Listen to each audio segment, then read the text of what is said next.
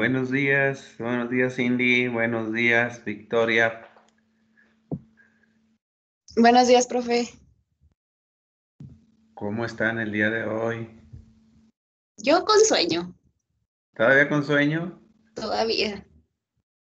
Pues, lo que pasa es que hoy ya empieza a hacer calorcito, ¿no? Sí, es eso. Y ahora, el, ahora el, otro problema es que ya el calor no deja dormir. sí, no. Está muy feo.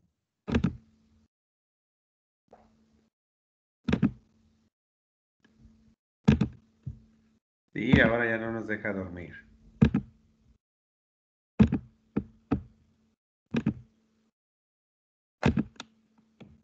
Deje buscar aquí, vamos a ver ahorita que vengan sus compañeros que, se, que entren.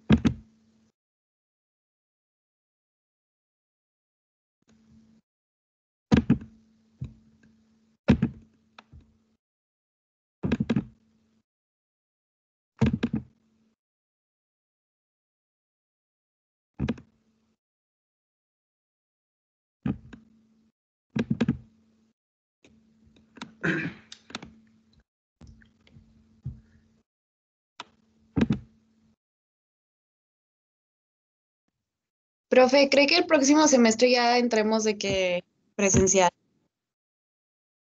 Eso, yo espero que ahora sí entremos ya.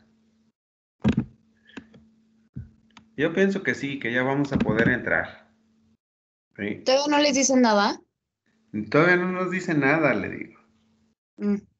Pero yo pienso que, eh, les digo, ahorita ya para empezar, vamos a tener la oportunidad de, de incorporarnos poco a poco.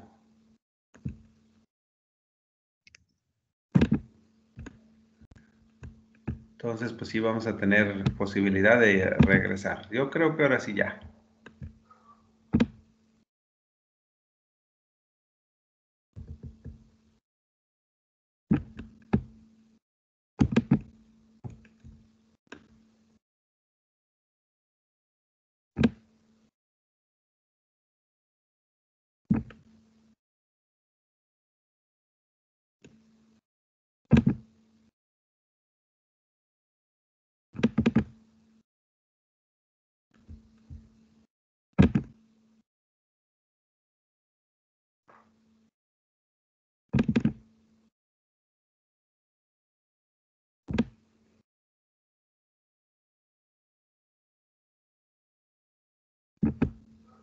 Aquí está.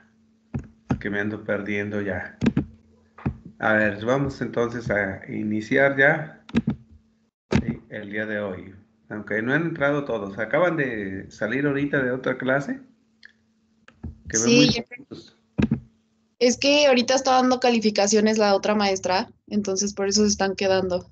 Ajá, vamos a esperar entonces otro ratito, a las 9.10, a ver si ya a las 9.10 no, se incorporaron más de nuestros compañeros. ¿Y, cómo les ha ido entonces en sus otras materias? ¿Bien?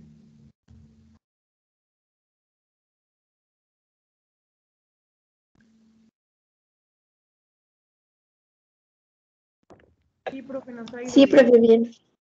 Qué bueno, ¿verdad? Entonces, esa es la situación, cómo nos hemos ido adaptando. Yo les decía eh, también, ¿cuál ha sido lo más difícil ahora? ¿Qué es lo que más extrañamos? A ver, ¿qué, es lo que más extrañan ustedes de su curso presencial? Laboratorios. Los laboratorios. una de las cosas es laboratorio. Pero ¿qué más, qué más extrañan? A ver, dígame, a ver, a ver una reflexión. ¿De qué es lo que realmente, como decía ahorita su compañera, yo quiero regresar a clase? Ir al aula. O sea, ¿por qué? ¿Por qué la idea de regresar al aula? Si aquí están, están bien a gusto, desde su casa y tomando clases, pero ¿qué, ¿qué, es lo que realmente nos invita a nosotros a regresar al sistema de la clase presencial?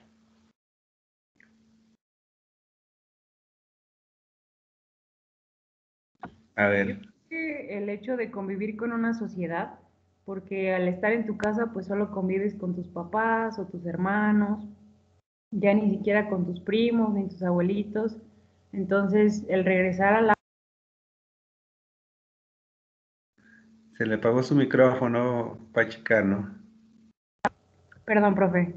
Este, digo que convivir con tus amigos que pues extrañas, con tus maestros, este, que te pueden enseñar cosas nuevas, no solamente de, de la materia en la que te estén impartiendo, sino aspectos de la vida como a lo mejor donde hicieron su maestría, o sea, compartiendo experiencias, es muy diferente ahorita, ahorita que no se puede nada.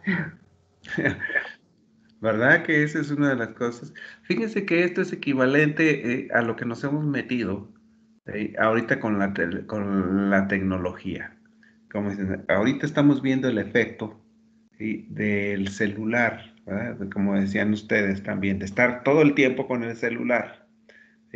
Que a veces estamos con nuestro compañero de lado y ni siquiera sentimos que estamos porque cada uno está con su celular y viendo lo que está en la pantalla de su celular y se abstrae de ver lo demás.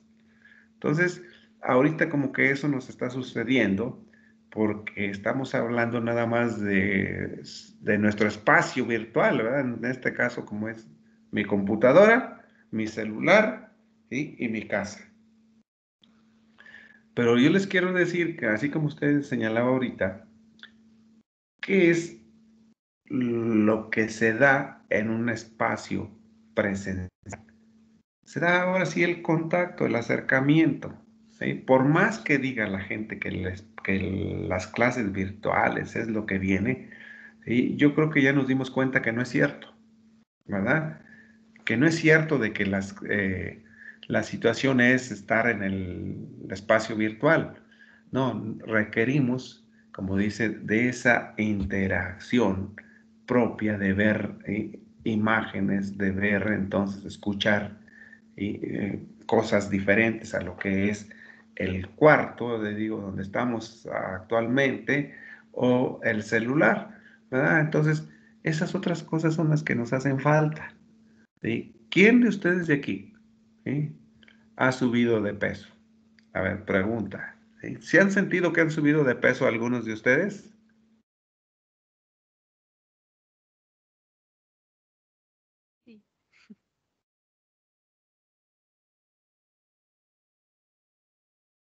A ver, por aquí que no se oye, tienen apagado el micrófono, ¿eh? Cuando intervengan por ahí tienen apagado su micrófono.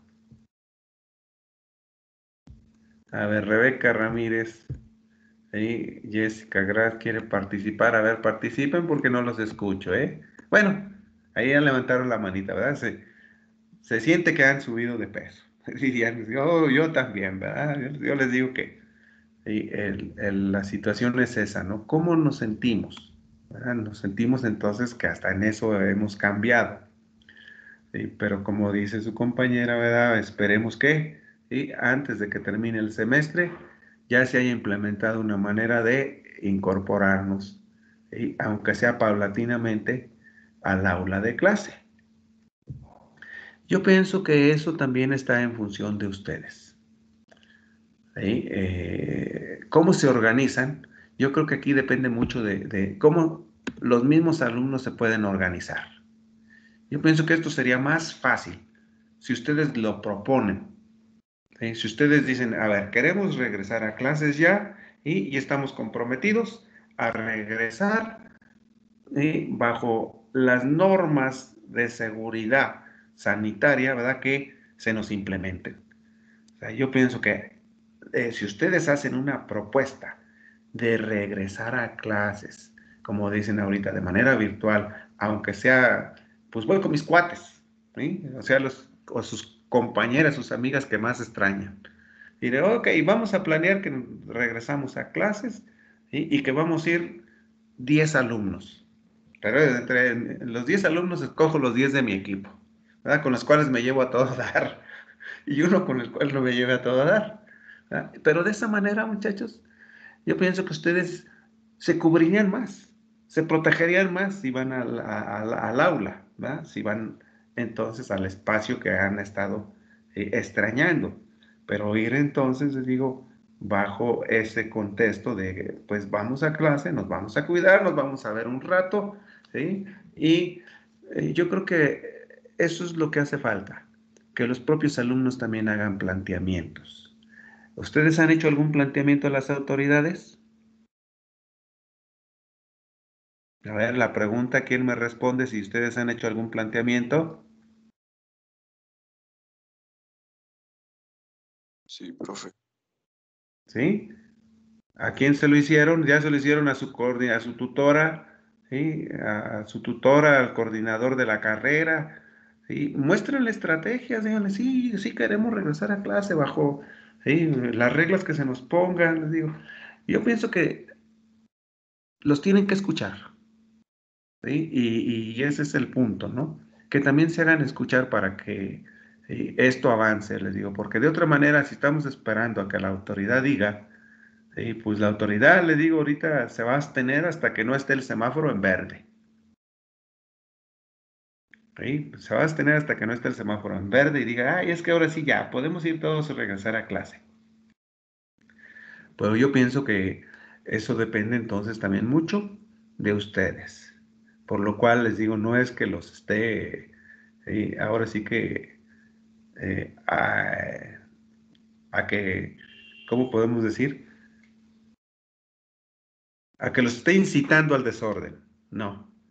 Sino más bien les digo a que ustedes también eh, pueden aportar algo. No sé si les platiqué que la semana pasada tuvimos una reunión eh, con el jefe de departamento, en donde el jefe de departamento nos planteó mm, eh, que se hizo una encuesta universitaria eh, a, a, todos los alumnos. Bueno, a una muestra de alumnos de la universidad. Y esa muestra de alumnos de la universidad, pues reflejaban también este tipo de cuestiones. ¿Cuándo vamos a regresar a clase? ¿Y cómo se sienten? En si los profesores han estado también a la altura de la situación. Y, yo creo que les digo entonces, eh, sí, se podría tomar en cuenta sus opiniones fuera de lo que se dice en una encuesta. Entonces, los invito a que se organicen, ¿eh? a que planteen también estrategias de cómo podemos regresar. ¿Les parece bien? Y la platicamos. Sí, profe, porque um, la vez pasada hicimos un documento y pues básicamente, eh, disculpe la palabra, pero nos mandaron a la chingada con formalidad. Sí, Alejandro, le digo, aquí, como dice usted, mire, yo por ejemplo, ¿verdad? Yo estaría en una posibilidad de eh, hacerme también responsable, ¿verdad? De asistir a la clase presencial o al laboratorio, ¿verdad? Con un grupo de ustedes, ¿sí? Pero como les digo, o sea, eh, en una estrategia bien planteada. En una estrategia bien planteada que fuera, eh, les digo, acompañada tanto de ustedes como mía como profesor, como eh, les digo de la autoridad, para que también se empiece a sentar un antecedente de confianza en los estudiantes, en el profesor, ¿verdad? Y en que podemos hacer las cosas bien de manera también eh, presencial bajo estas condiciones. Entonces, como dice, si, si hizo, ¿verdad? Si ya se hizo una petición Ahora les digo, pues la petición también tendría que ser respaldada por sus profesores que, participan en el, semestre. Entonces, la, invitación también sería, les digo, que, ustedes anexaran allí eh, que el visto bueno también del profesor. ¿Sí me escuchó? Ok, profe. Sí, para también preguntarle a los demás profes y pues entre más votos de sí tengamos, pues mayor será el apoyo. Sí, por eso le decía, muchos profesores la, la agarran muy cachetona, ¿sí? así muy simplista. Bueno, pues total, yo así le sigo. Acabo, soy profesor de clasecitas y nomás doy mi clase, ya la tengo preparada, ya no veo nada más, más que lo que sigo dando y hasta ahí. ¿Verdad? Son profesores que les digo, por mucho tiempo ya adaptaron su estrategia de trabajo y pues difícilmente cambian, pero hay que hacer el intento. Bueno, una vez que ya platicamos esto, ¿verdad? Vamos a, a, continuar y les digo, si ustedes tienen alguna situación de este tipo y la quieren comentar, estoy abierto, ¿eh? ¿Sí, chavos? Muchas gracias, profe. Ok, estoy abierto para eh, darle una salida posible. Bueno, vamos entonces a iniciar. Ahorita no va a pasar lista. Aquí ya tengo 33 porque ya me quemé ahorita los 10 minutos que tengo por pasar lista. Pero vamos a continuar entonces en nuestro plan, en nuestro programa. Y habíamos visto hasta la clase de ayer, habíamos visto ya toda la fisiología cardíaca. Ya habíamos hablado del ciclo cardíaco. Habíamos dicho que el ciclo cardíaco es entonces, ¿verdad? Decimos la serie de eventos que se presentan en el sistema cardiovascular, ¿verdad? Que son acompañados de cambios de volumen, cambios de presión, decimos eh, eh, cambios eléctricos y decíamos entonces, ¿verdad? Que tenía eventos, decimos eventos que son sincrónicos, que aparecen de manera eh, secuencial, tanto sincrónico como secuencial. Decíamos, eso daba origen entonces a generar eh, la presión que sale del corazón, de la sangre que sale del corazón, e iniciar ahora sí el viaje de la sangre hacia los vasos. Por lo cual les pedí también, ¿se ve la proyección? ¿Se ve la pantalla? Sí, profe. ¿Sí? Les pedí, ¿verdad?, que leyeran este documento que les subí allí a la plataforma del Teams. Sí lo tienen, ¿verdad? ¿Sí lo leyeron? ¿No lo tienen ahí? ¿Alguien entró?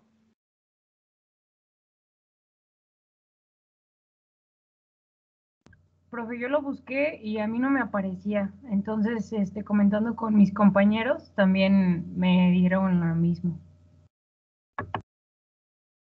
Porque sí está subido, miren, en la plataforma, les digo, aquí en la clase del día de ayer, bueno, en la clase del día primero de marzo, aquí en archivos, ah, en su plataforma, sí lo subí. Aquí está.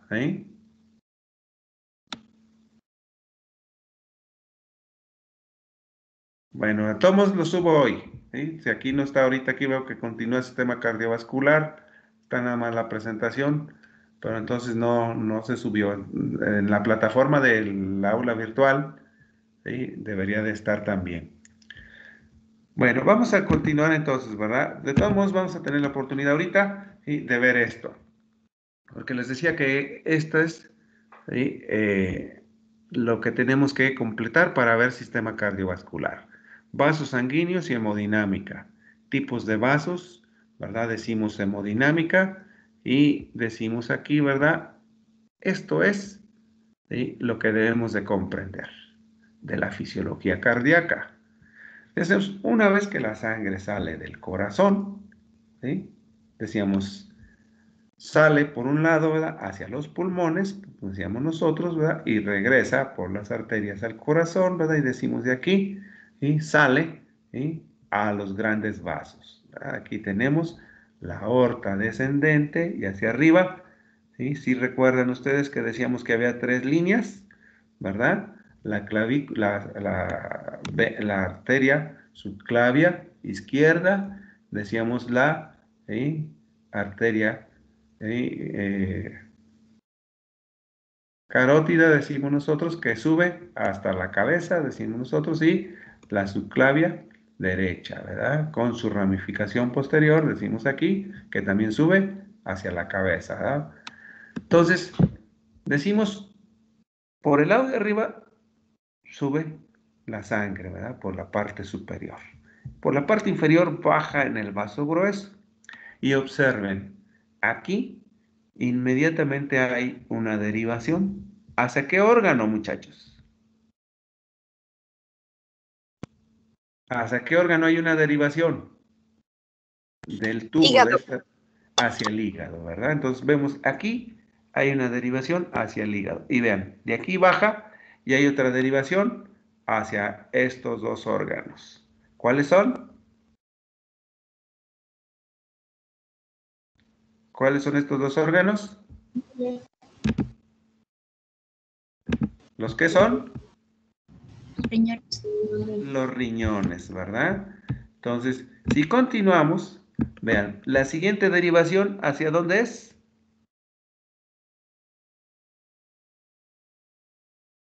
A ver, ¿hacia dónde es la siguiente derivación de esta red de vasos?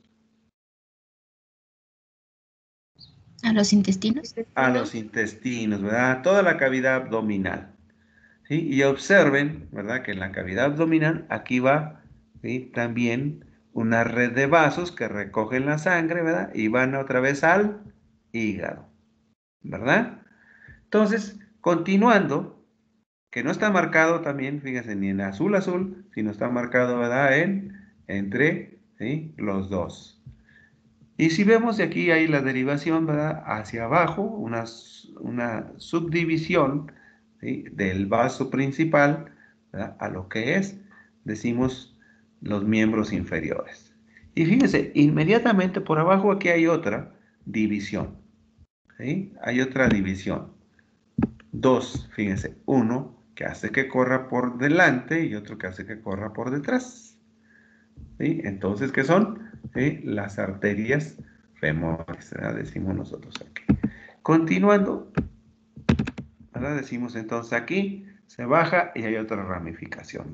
Decimos aquí, en la tibial, ¿verdad? Decimos, y eh, aquí continúa su descendencia, decimos hasta la piel más distal, aquí decimos del dedo gordo, decimos entonces toda la sangre baja por aquí, ¿verdad? Y vuelve a subir entonces otra vez ¿verdad? por las venas.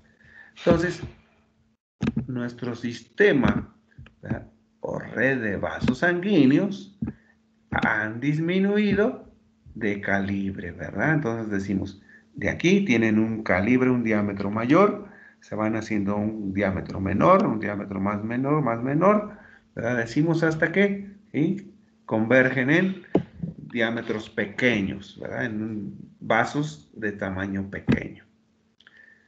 Esto nos lleva entonces, ¿verdad? A entender que los vasos sanguíneos. Se conocen. Como arterias arteriolas, capilares, vénulas y venas. Entonces, es ese cambio en la trayección, en el trayecto de la sangre arterial, como va disminuyendo el diámetro del vaso. Entonces, ¿qué hay de común y de contrario entre una arteria y una vena? Entonces, decimos nosotros, observen, arterias y venas tienen tres capas. Túnica interna, túnica media y túnica externa o adventicia. Hablando desde el lado interno hacia el lado externo, fíjense bien, aquí está el lado interno, la luz vascular en ambos vasos, pero ¿qué hay? Una diferencia entre venas y arterias. ¿Qué es lo que encontramos aquí? Una válvula. Válvula. Entonces, en venas hay válvulas. ¿En arterias hay válvulas? No. No, ¿verdad? Bueno, esa es una diferencia importante. Venas tienen válvulas. Arterias no presentan válvulas en su interior. Pero fíjese luego, luego, en el lado interno. En el lado interno, decimos, la túnica interna presenta una capa de células que se conoce como endotelio. Venas y arterias la tienen. ¿sí? Luego tenemos una membrana basal. Observen, a ambos tipos de vasos hay una membrana basal. Y la siguiente diferencia, una lámina elástica interna. Arterias y venas. ¿Quién tiene una lámina elástica? A ver, lámina elástica, ¿qué, vasos tienen? Arterias. Arterias. Bueno, entonces, continuando con la siguiente capa. Túnica media es músculo. Ambos vasos tienen músculo liso, ¿verdad? Y continuamos, y fíjense, otra lámina, lámina elástica, venas y arterias. Entonces, ¿quién tiene entonces otra lámina elástica? Arterias, ¿verdad? Túnica adventicia, observen la túnica adventicia, ¿sí? Ambas la tienen, pero son de diferente característica. Entonces decimos nosotros, ¿verdad? Que esas diferencias, ¿verdad? Hacen que los vasos puedan soportar una presión. ¿verdad? Y dice aquí, sin deformarse, ¿verdad? Pero con poco volumen de sangre en su interior y decimos estos son reservorios de presión. En cambio, las venas, fíjense bien, pueden adaptarse y contener un volumen elevado de sangre. Y son apenas elásticas. Por lo tanto, arterias, ¿son qué?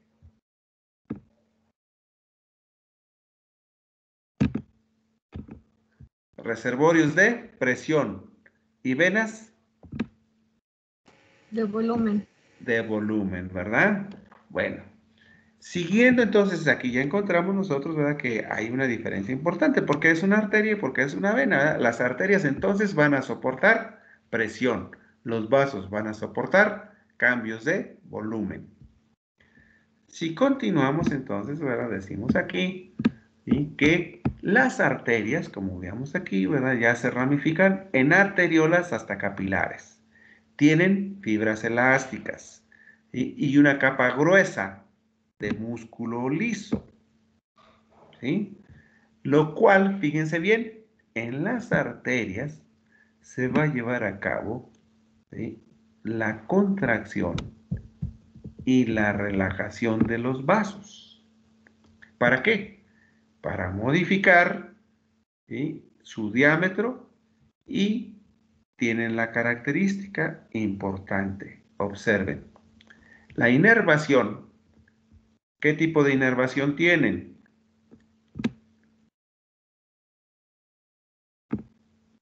Por la vía simpática, sistema nervioso simpático. Entonces, los neurotransmisores adrenalina y noradrenalina, ¿qué van a, a provocar en los vasos? Vasoconstricción. Vasoconstricción. ¿Y qué sustancias, fíjense bien, van a provocar vasodilatación?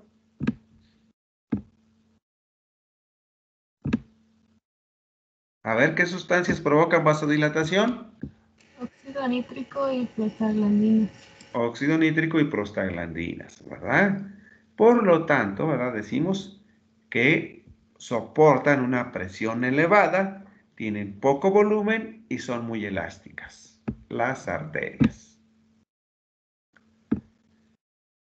Entonces, como nos dice aquí, ayudan a la propulsión de la sangre en la fase de la diástole ventricular.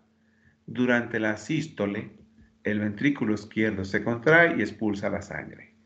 La aorta y las, arteriolas, las arterias grandes, se expanden porque empuja por presión, ¿verdad? Y se llena de volumen, de sangre, fluye la sangre. Durante la diástole, se relaja, se cierran las válvulas y se llenan de sangre. Entonces aquí, ¿verdad? las aorta y las arterias tienen una retracción elástica. O sea que se puede expander rápidamente y regresar a su tamaño original, lo que permite que el flujo de la sangre sea continuo hasta los capilares, como va sucediendo el ciclo cardíaco. Observen aquí la dilatación de la aorta, a la salida de la sangre. Y después observen la retracción. Cuando ya salió la sangre y se vuelve a llenar otra vez el ventrículo, está ocurriendo. Que aquí se está regresando a su espacio inicial, a su elasticidad inicial. Esto concuerda también, como decía aquí, ¿verdad? Durante la sístole se incrementa la presión, ¿verdad? Decimos, se incrementa la presión por aquí, ¿verdad? Y sube al máximo. Después, durante la diástole, baja. Esto lo conocemos nosotros, ¿verdad? Como la presión sanguínea es la presión que ejerce la sangre en las paredes de los vasos sanguíneos o arterias y venas y capilares durante el ciclo cardíaco. ¿Qué decimos nosotros? Decimos nosotros entonces, ¿verdad? Que, ¿sí? ¿Qué es presión, muchachos?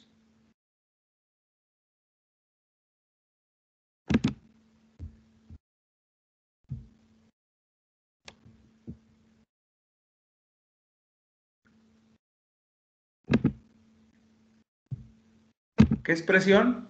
Una fuerza sobre un área. Fuerza por unidad de área, ¿verdad? Entonces decimos, la presión es igual a la fuerza por unidad de área. Entonces, hablamos que la presión va a ser diferente en las arterias, en las venas y en los capilares. Se dice entonces, ¿verdad? Que aquí la presión, entonces, ¿verdad? Es mayor en la sístole que en la diástole. Y en un individuo es de 120 a 80. Hay otra cosa que debemos de ver.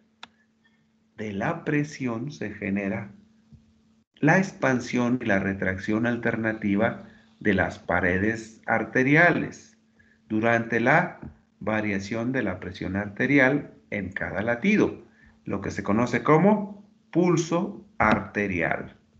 Entonces, el pulso, decimos aquí, ¿verdad? Que es porque las ondas están viajando a lo largo de los vasos, ¿verdad? El pulso entonces aquí se puede palpar en diferentes zonas que estén cercanas a la piel, en donde haya un vaso, ¿verdad? Y de esa manera, Aquí por palpitación. Se conoce el pulso. Sin embargo, para medir la frecuencia cardíaca, ¿verdad? Nosotros contamos esta cantidad de pulsaciones por minuto. Otras veces lo hacemos 15 minutos y lo 15 segundos y lo multiplicamos por 4. También hay otra fórmula. Fíjense bien, la presión arterial media es igual a la presión arterial sistólica más dos veces la presión diastólica entre 3. Entonces, si ustedes observan, esta es otra fórmula que generalmente eh, la usan en medicina. La presión arterial media es igual a la sistólica más dos veces la sistólica entre tres. ¿Por qué razón? Porque durante el ciclo de la diástole, fíjense bien, ocupa dos tercios del tiempo. La sístole un tercio. Por lo tanto, por eso la presión arterial media es 1,2 sobre 3.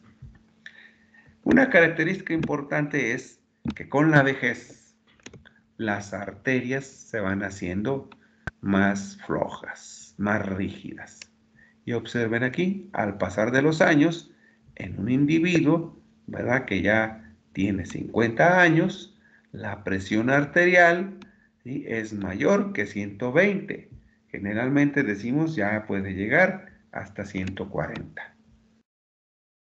Con esto podemos nosotros terminar esta parte de las arterias y vamos entonces ahora, ¿verdad? Como las arterias van disminuyendo en diámetro y ahora se convierten en arteriolas.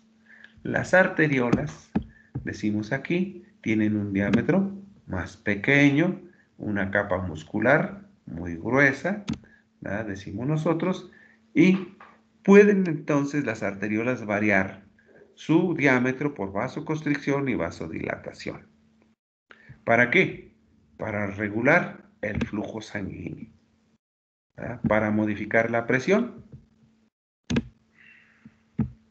Entonces, a los vasos se les conoce como vasos de resistencia, arteriolas.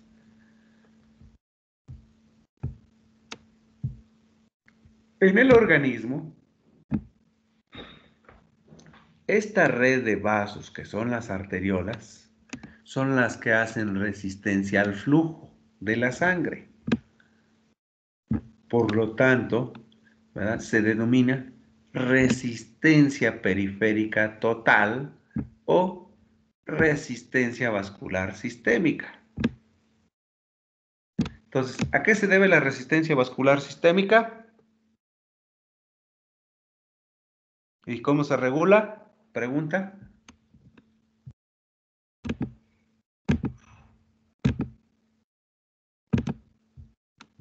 Pregunta, chicas, jóvenes.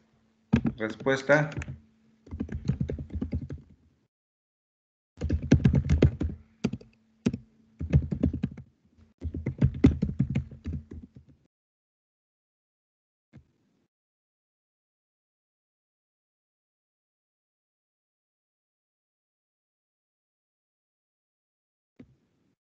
respuestas? A ver, Samantha Díaz.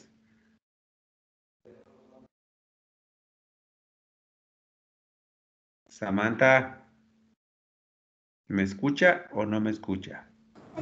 Sí, profesor. A ver, contésteme entonces. ¿A qué se debe la resistencia vascular periférica? ¿A qué estructuras?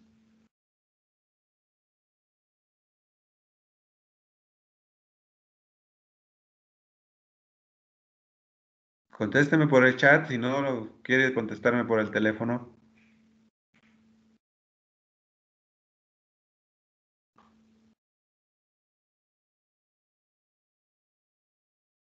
La voy a contar. Una, dos, tres, cuatro, cinco. No me contestó Claudia. A ver, ¿eh? vamos a ver. Jessica Paola Gras, contésteme por su compañera. Eh, ¿Sería las arteriolas? Sí, se debe a las arteriolas. Muy bien. Vamos a ver ahora quién acá me va a contestar. Acá esta colega que también. Fernanda, María Fernanda. ¿Cómo se regula la resistencia vascular periférica?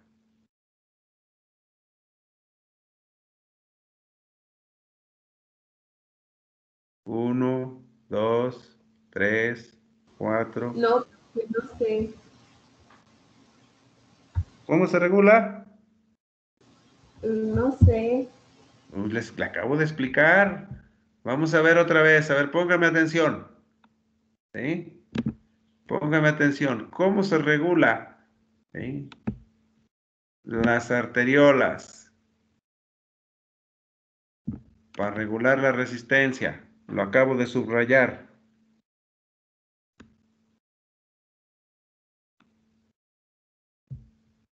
Respuesta. Con la modificación de la presión arterial. Eh, a ver, ¿me ¿está poniendo atención a la clase o no? Sí, profe. ¿Pero qué le hice ahorita? A ver, en la pantalla, ¿qué hice ahorita? ¿Qué subrayé o qué marqué con amarillo? Pues estaba eso subrayado también y supuse que era eso. Aquí. Aquí fue la maniobra que hice. ¿Cómo se regula la resistencia vascular periférica? Vasoconstricción y vasodilatación. Por la vasoconstricción y la vasodilatación, ¿verdad? De las venas, vénulas o arterias. ¿O ninguna de las anteriores que dije? Ninguna.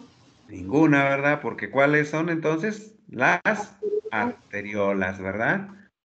Pónganme atención porque es importante. ¿sí? Vamos a seguirle entonces. ¿Verdad? Decíamos nosotros, Entonces, la resistencia vascular sistémica o resistencia periférica total se debe a las arteriolas. De tal manera, ¿verdad? Que decimos nosotros, ¿verdad? Que las arteriolas se ramifican todavía más a formar los lechos capilares. Aquí las arteriolas se hacen más chiquitas y observen, observen otro mecanismo que hay aquí. Desde el corazón llegan aquí, ¿verdad? Las arteriolas, decimos y en las arteriolas llegamos a los lechos capilares. Aquí dice lecho capilar. ¿Qué hay en un lecho capilar?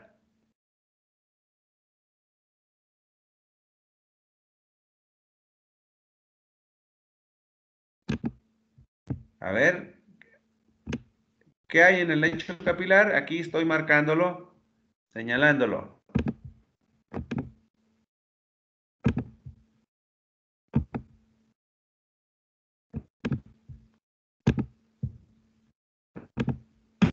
A ver, ¿qué hay en el lecho capilar? Esfínteres precapilares. Esfínteres, ¿verdad? ¿Y qué dice aquí? Que están en estado relajado. Si este esfínter está en la condición relajada, va a permitir que la sangre fluya en el lecho capilar, ¿verdad? Y llegue entonces al espacio de la vénula, ¿verdad? Del lado venoso. Entonces, ¿verdad? Un mecanismo que tenemos en, las, en los lechos capilares son los esfínteres y precapilares. Entonces, decimos nosotros que es una característica del lecho capilar. En el lecho capilar hay esfínteres en la zona precapilar. Como dice aquí, todos los vasos, excepto los capilares y las vénulas, están inervados por la vía simpática. Por lo tanto. La vía simpática, decimos, es responsable de lo que conocemos como el tono vasomotor. ¿Verdad? ¿Qué significa el tono vasomotor, muchachos? El tono vasomotor significa lo siguiente. Por las fibras nerviosas simpáticas del sistema nervioso simpático y del autónomo, ¿sí recuerdan eso?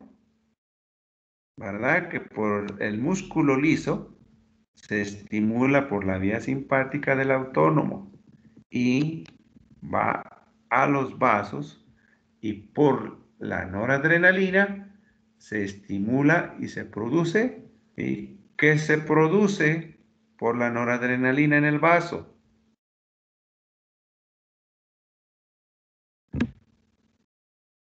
Vasoconstricción. Vasoconstricción. Y si disminuye la liberación que se produce.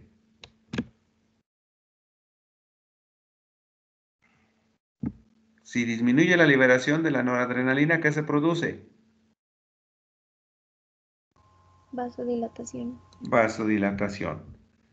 Y por acá, entonces, ¿quién determina cuántas veces se va a contraer y se va a relajar?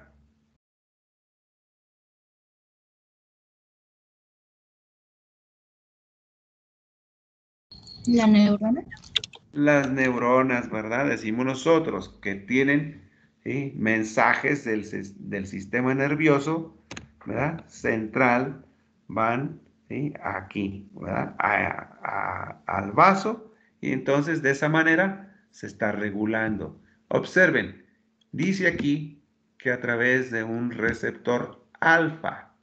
Un receptor entonces está aquí en el vaso y la noradrenalina se pega aquí y es como provoca la activación para llevar vasoconstricción o vasorelajación. Por esa razón, nos dice aquí los vasos sanguíneos de la cabeza, de las glándulas, de las vísceras, de los genitales, pero fíjense bien, no del músculo y la piel, ¿verdad? Entonces, ¿verdad? No hay inervación simpática en los vasos del músculo y de la piel, ¿verdad? Que conlleven a cambios en la contracción. Bueno, si nosotros vemos, hemos visto que la relajación y la contracción es diferente en el músculo cardíaco y en el músculo esquelético. Decíamos que en el músculo esquelético, ¿verdad? Decíamos, entra el calcio y activa las proteínas del citosol que tienen que ver con la contracción. Pues en el vaso, decimos nosotros que las células del músculo liso son fusiformes, que tienen filamentos de actina y miocina. Observe activamente con el músculo esquelético cómo son ahora la relación entre filamentos de actina y miocina. ¿Son iguales o diferentes? Es 2 a 1. 2 a 1, ¿verdad? Entonces son contrariamente, ¿verdad? Decimos, esto hace entonces, ¿verdad? Que se organicen las células y tengan una disposición oblicua, ¿verdad? Y que sean entonces más largos. Por esa razón, ¿verdad? Dice aquí, el músculo liso de los vasos hace diferencia al contraerse. Otra característica nos dice aquí que las cabezas, al tener una longitud mayor, se acercan más, ¿verdad? A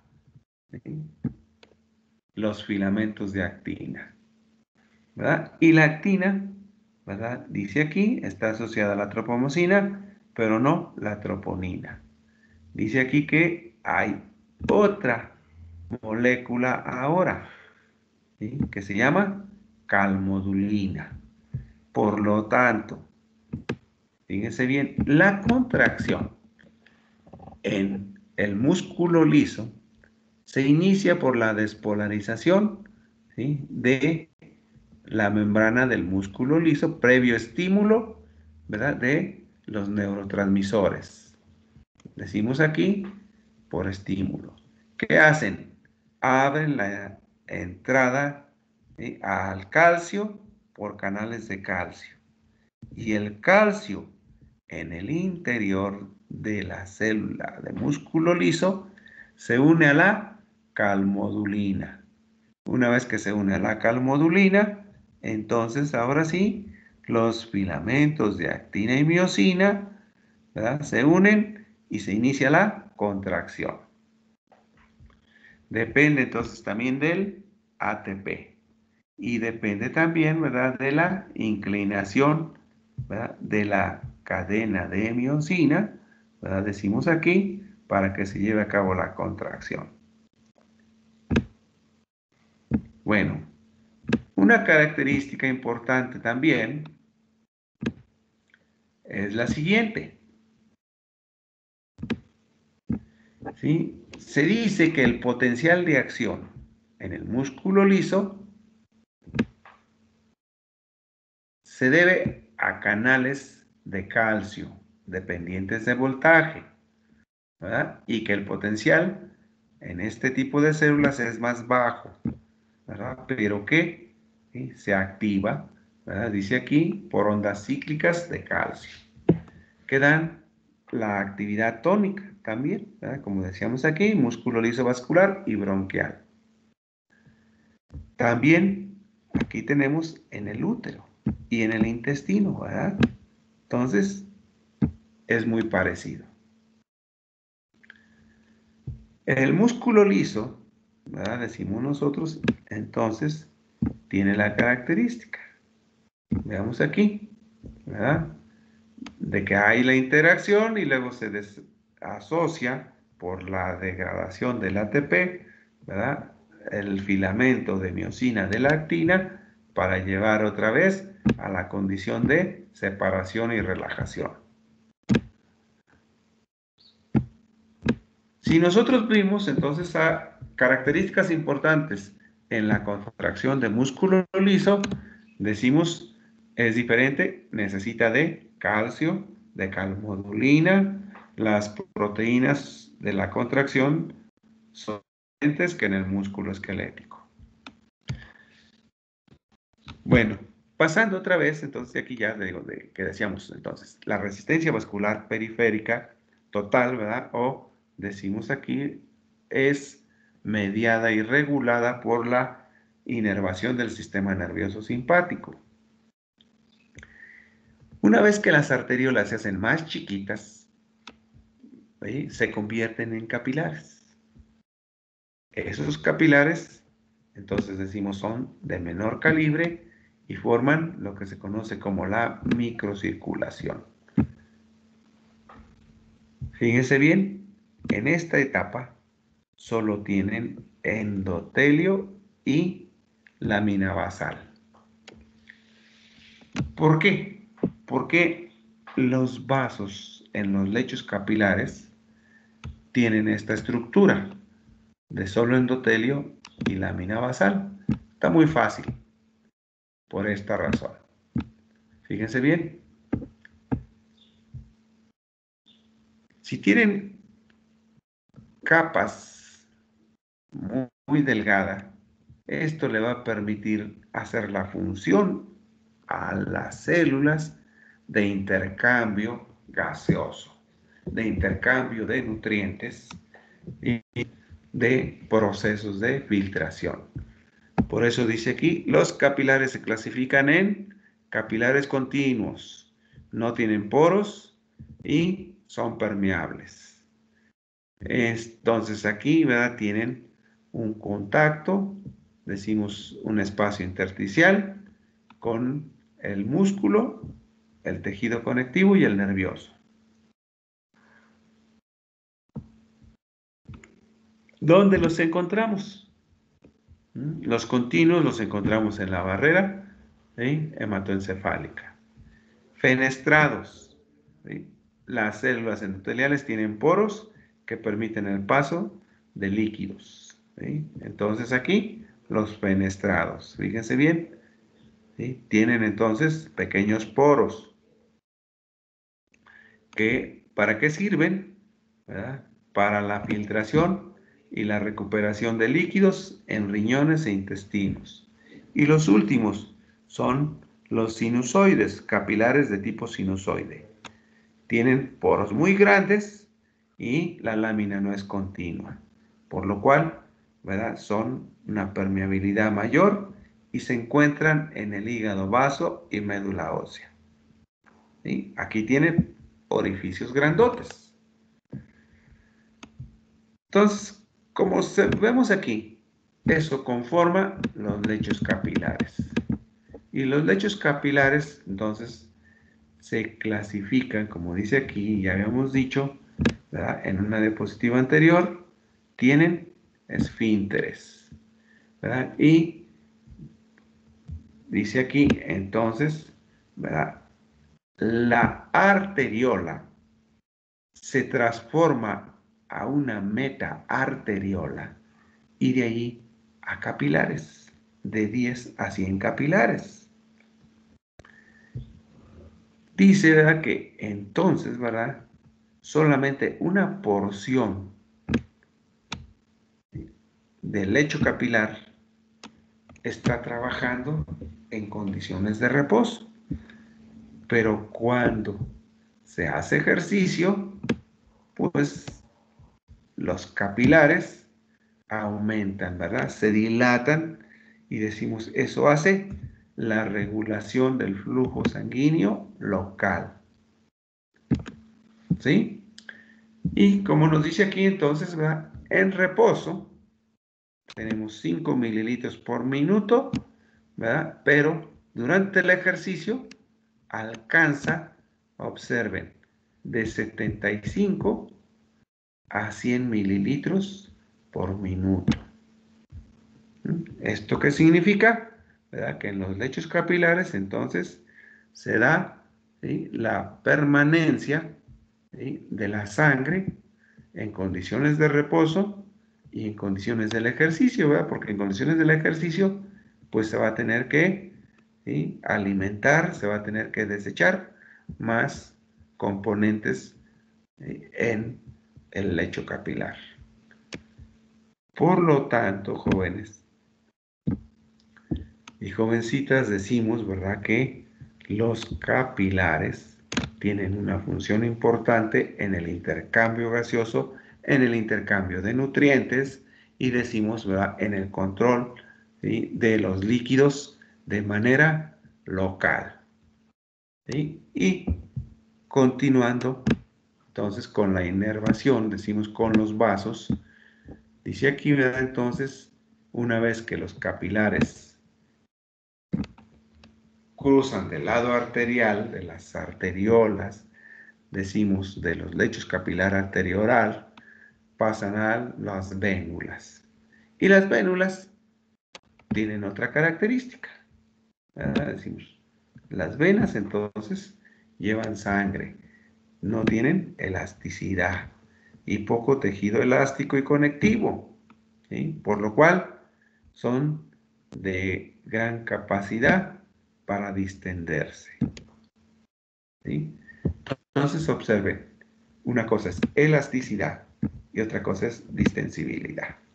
La elasticidad tiene que ver con lo que regrese a su tamaño original y la distensibilidad con que se puede quedar una vez que se dilata el vaso.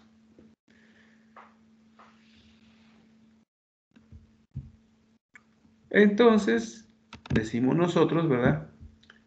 Que esa capacidad de las arteriolas y de las arterias, ¿verdad? A conservarse, decimos, tienen una eh, distensibilidad mayor cuando son jóvenes que cuando son viejitas. Eso hace también que observen del volumen total de sangre. Y decimos, las venas y las vénulas recogen el 60% de la sangre. Ah, entonces hay más sangre en las venas que en las arterias.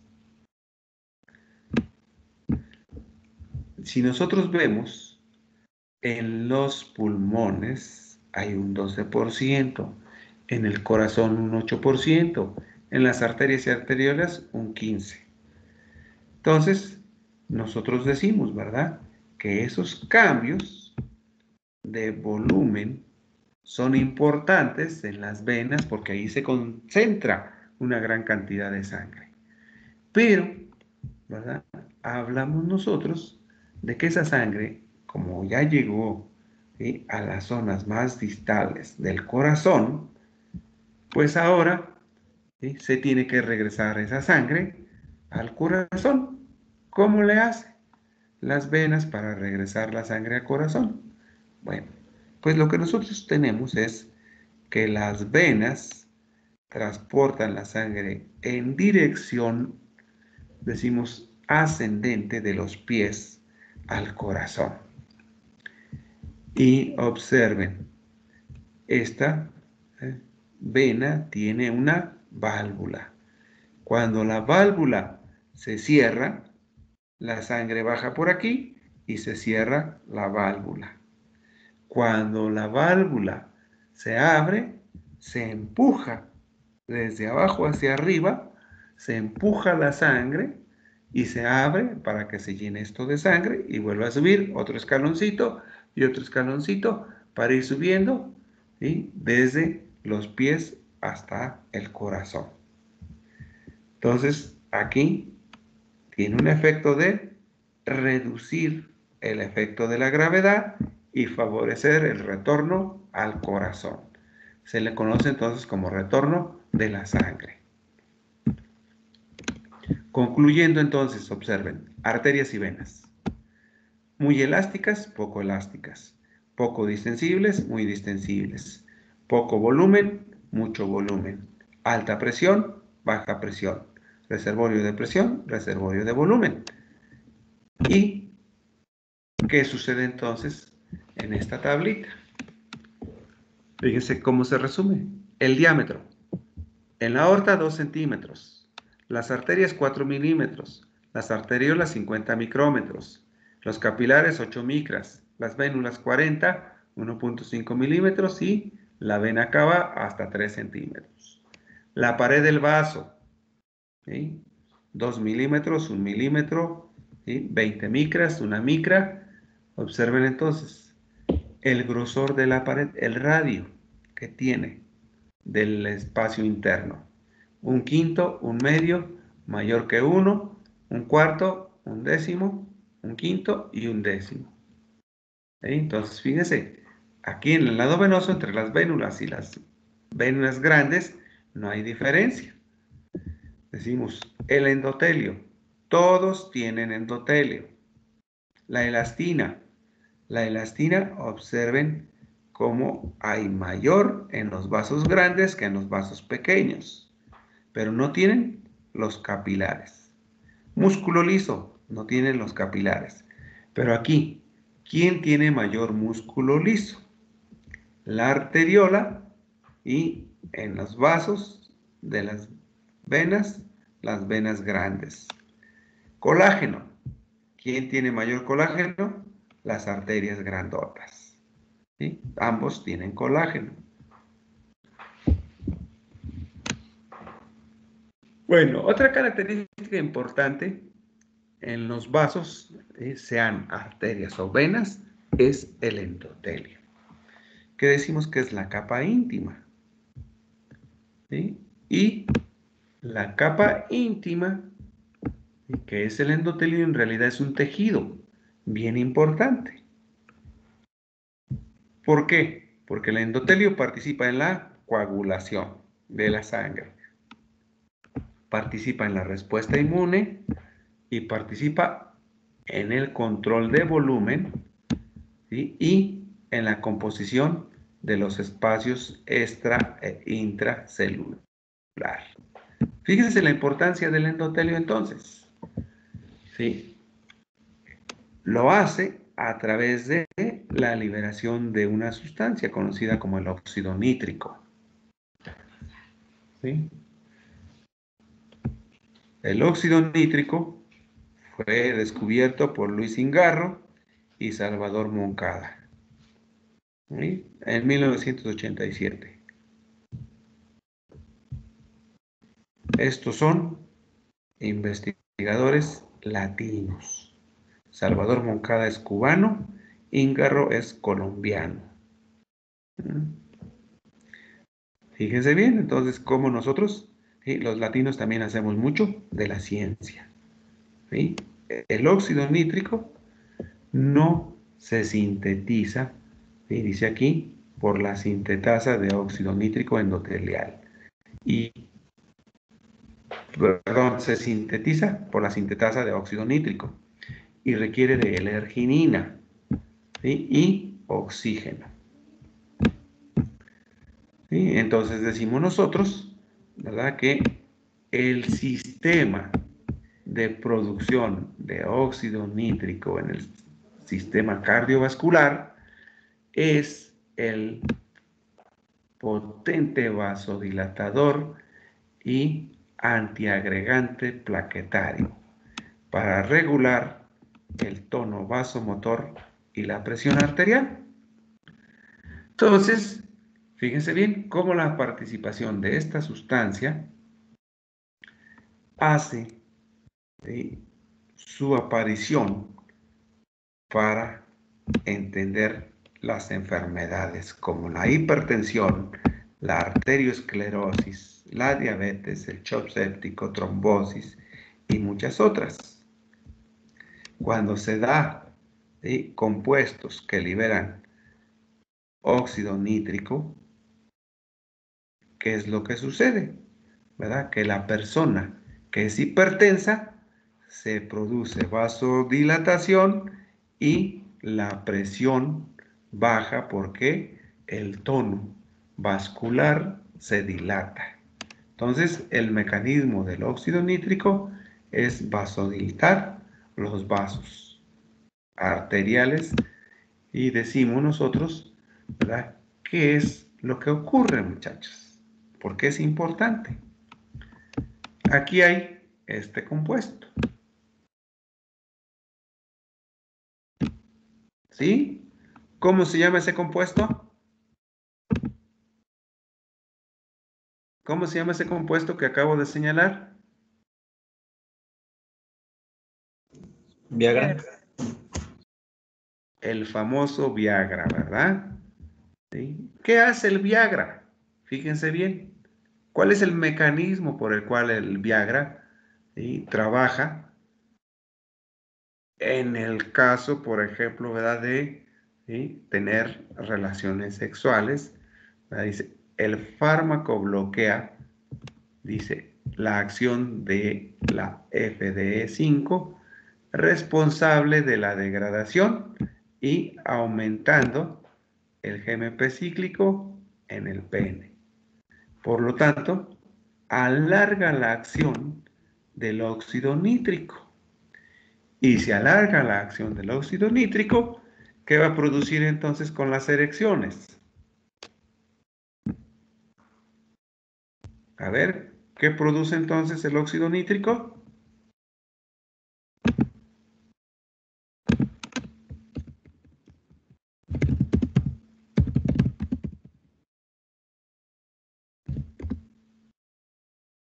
Que se abran los vasos sanguíneos. ¿Mm? ¿Y qué más?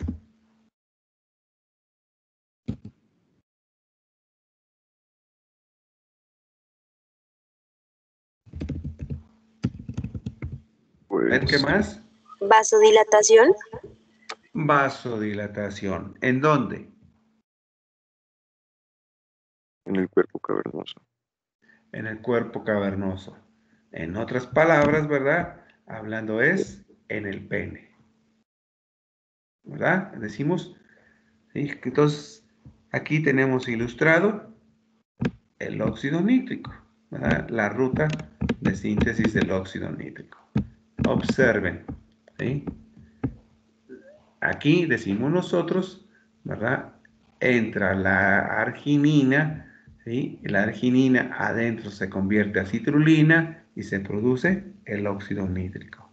El óxido nítrico va a las células vasculares y allí entonces relaja al músculo liso y provoca una vasodilatación. Por lo tanto, ¿verdad? Decimos aquí, ¿verdad? El sildenafil o Viagra, ¿verdad? Hace que esto no se rompa y por lo tanto aquí se mantiene dilatado. Cuando se rompe esto se vuelve a la contracción.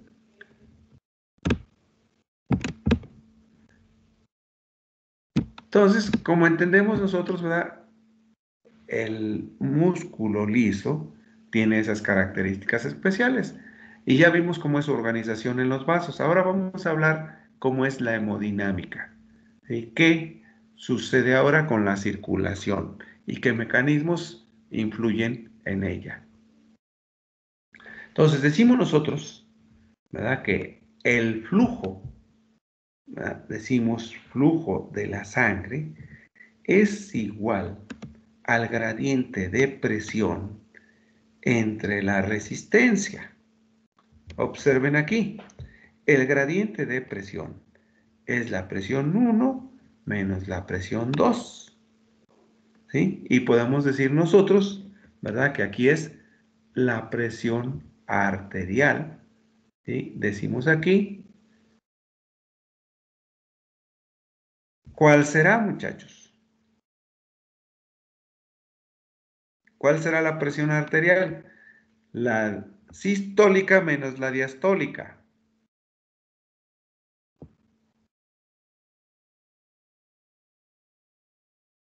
¿Cuánto nos da? A ver.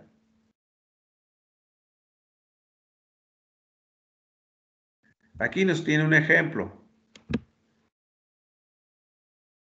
Si en un lado hay 80 milímetros de mercurio y en el otro hay 60, ¿Cuál es la diferencia de presión?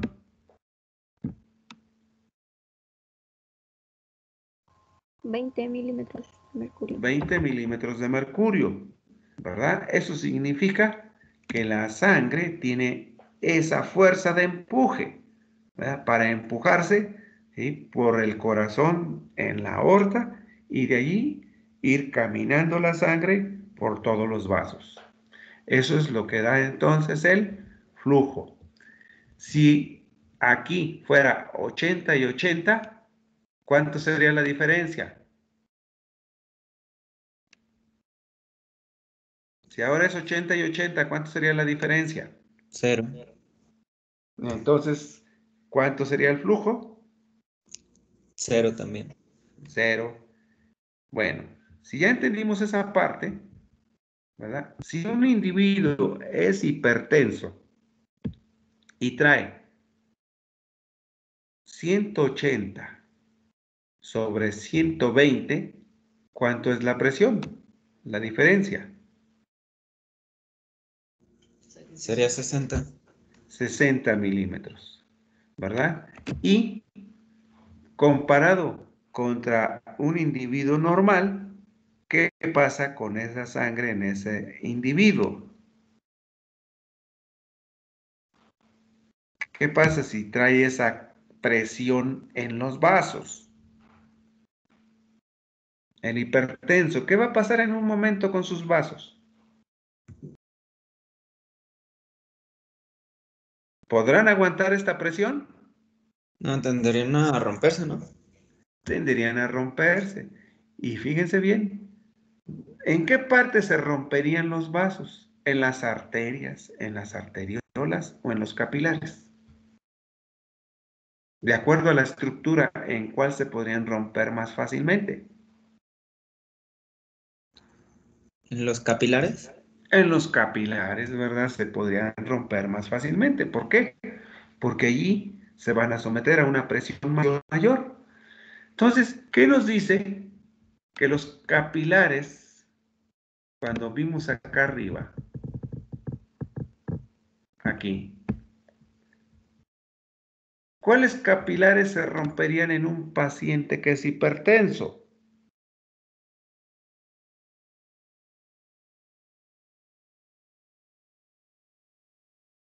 A ver, explíqueme, dígame por favor, ¿cuáles capilares se romperían en un paciente que es hipertenso?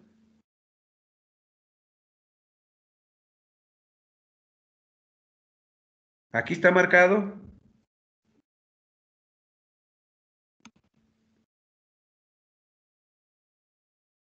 ¿Y qué consecuencias traería entonces? ¿Mande? ¿Los continuos? No, los continuos, pero aquí ¿dónde están los continuos? ¿En la barrera hematoencefálica? En la barrera. ¿Y qué, qué parte recubre la barrera hematoencefálica? Cerebro. El cerebro.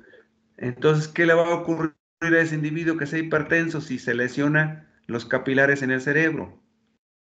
Derrame cerebral. Exactamente, ¿verdad? Un derrame cerebral.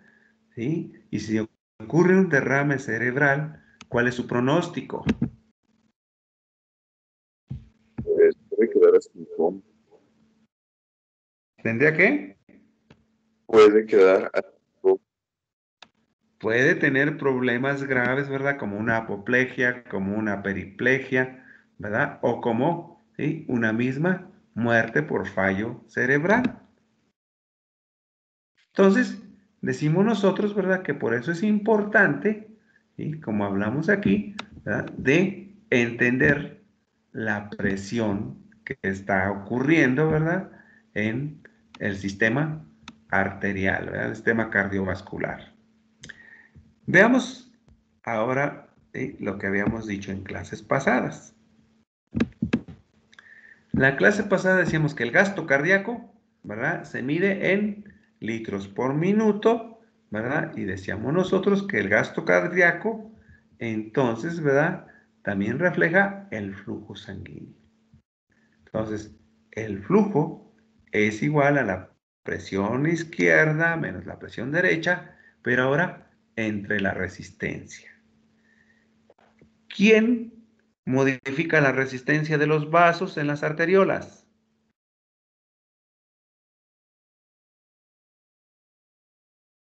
A ver, en las arteriolas, le preguntaba a su compañera.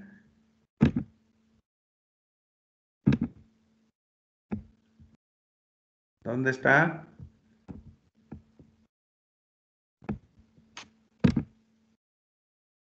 Le preguntaba a su compañera en las arteriolas, ¿quién me contesta?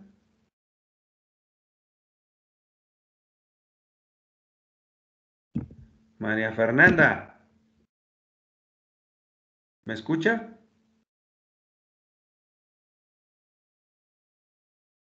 María Fernanda, ¿me está escuchando? Hace rato le hice esa pregunta. ¿Quién modifica la resistencia en las arteriolas? Sí, profe, perdón, es que tenía problemas. Eh, la vasoconstricción y vasodilatación, Sí, pero ¿quién la regula?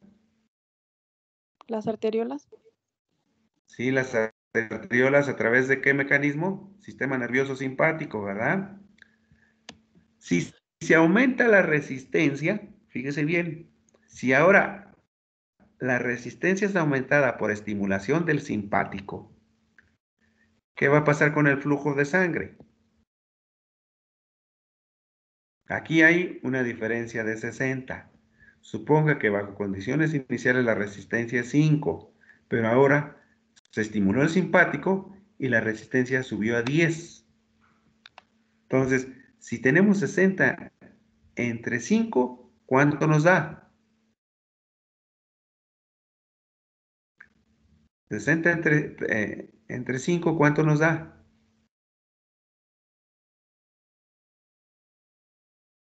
12. 12. 12 litros por minuto. Pero si ahora la resistencia se aumenta y es 10, ¿cuánto nos da el flujo ahora? 60 entre 10, 6. 6. Entonces, ¿verdad? ¿Cuál, eh, ¿Qué hace la resistencia sobre el flujo? A mayor resistencia, ¿cómo cambia el flujo? Pues va reduciendo el flujo. Exactamente, ¿verdad? Entonces, a mayor resistencia se reduce el flujo. A mayor presión, Aumenta el flujo. aumenta el flujo, ¿verdad? Eso es lo que debemos entender de esta formulita del flujo. Por lo tanto, decíamos que el gasto cardíaco, ¿verdad? Se modificaba en condiciones de reposo y en condiciones de ejercicio, ¿verdad? Y decíamos que entonces, ¿verdad? El gasto cardíaco se dice, ¿verdad? Que ahora es igual a la presión a la salida de la aorta entre la resistencia que está en todos los vasos, ¿verdad? La resistencia vascular sistémica. Y como decíamos ayer, ¿verdad? También, entonces, el gasto cardíaco es igual al volumen latido, ¿verdad? Que son 70 mililitros por minuto por la frecuencia cardíaca, 75, ¿verdad? Entonces decimos, por lo tanto, el gasto cardíaco es igual a la presión arterial media entre la resistencia vascular sistémica. En un individuo normal es de 5 litros. ¿Y por qué? Miren, porque decimos nosotros que el volumen plasmático es de 3. El volumen de los eritrocitos son 2 litros. El volumen extracelular son 15 litros. El intravascular intracelular es 25. Entonces, en la sangre tenemos 5 litros. 5 litros se mueven en cada minuto por el corazón. Es una bomba, decimos nosotros, que está bombeando 5 litros por minuto. Fíjese bien, ¿qué ocurre en los pulmones, muchachos?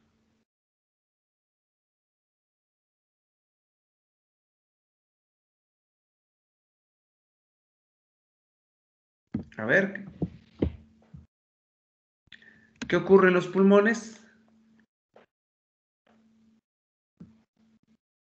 Con el flujo sanguíneo.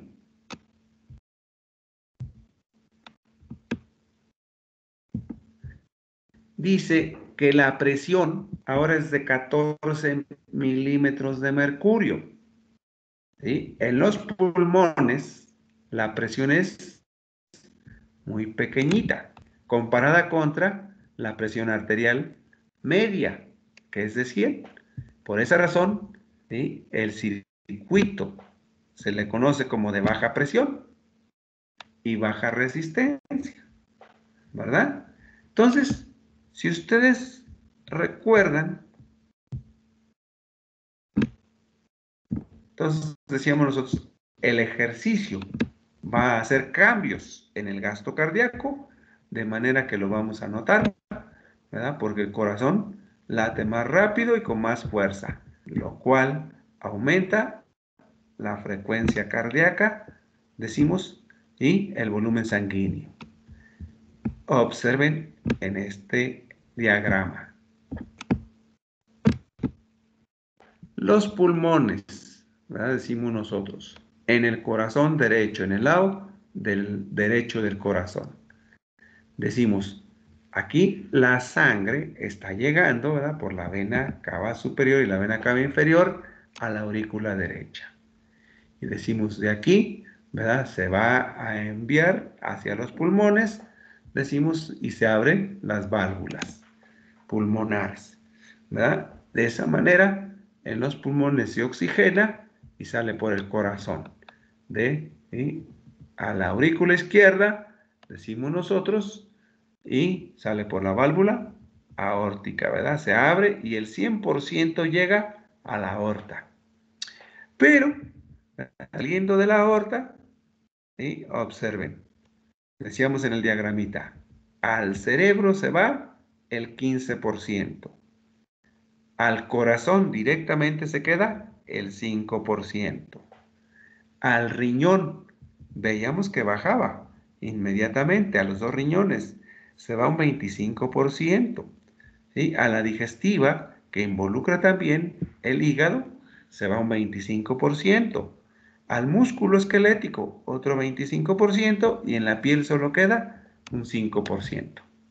Entonces, el flujo del gasto cardíaco se divide en estas regiones. Decimos nosotros, de esa manera, ¿verdad? Entonces entendemos nosotros cómo la sangre empieza a cambiar la presión a lo largo que avanza del sistema cardiovascular. Y vean, de la presión sistólica que ocurre en la aorta, en todos los vasos, acá abajo, en la aorta, en las arteriolas, la presión es la misma. ¿Dónde empieza a bajar? En las arteriolas. ¿Dónde todavía baja? Miren, en los capilares. Y observen cómo se hace muy pequeñita en la vena cava inferior. Entonces, la presión, vean, se mantiene en, las, en la aorta y las arteriolas porque son elásticas y tienen músculo. ¿verdad? Decimos entonces, de esa manera, por eso se mantiene la presión en las arterias y las arteriolas. Y como ya habíamos visto, ¿verdad? Entonces, el ciclo cardíaco, pues aquí lo tenemos ilustrado, ¿verdad? Ya decíamos nosotros con sus fases. La fase D, decíamos esta primera fase, decimos es fase de despolarización de las aurículas, llenado de la aurícula, ¿verdad? Decimos, aquí viene entonces el llenado del ventrículo, ¿verdad? Decimos nosotros, entonces una vez que se llena el ventrículo, decimos llega a su máximo y hablamos de que está la sístole al contraerse, entonces el ventrículo empieza el vaciado del ventrículo y la salida por la aorta, ¿verdad? Decimos aquí, entonces otra vez se vuelve a iniciar el ciclo.